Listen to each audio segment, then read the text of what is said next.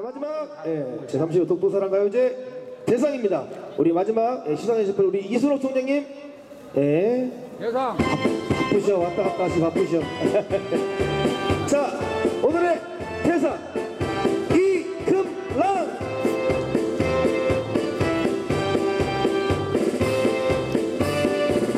자, 그 대상이니까 다 읽어드리면 돼요. 네. 상장 대상 이금랑 이 사람은 나라사랑 독도사랑 문화사랑 제16회 한려문화축제 제35회 독도사랑 가요제에서 우수한 성적으로 입상하였기에 상장을 드립니다. 2015년 10월 18일 대회장 탁상훈 총재 이순옥 대표회장 최덕찬 진심으로 축하드립니다. 부상으로 상장과 트로피가 수여됩니다.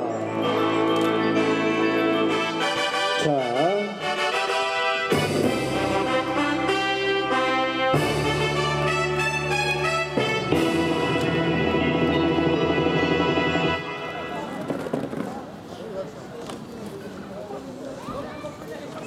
소식의 주인공입니다. 이금철 어서 오시기 바랍니다. 예.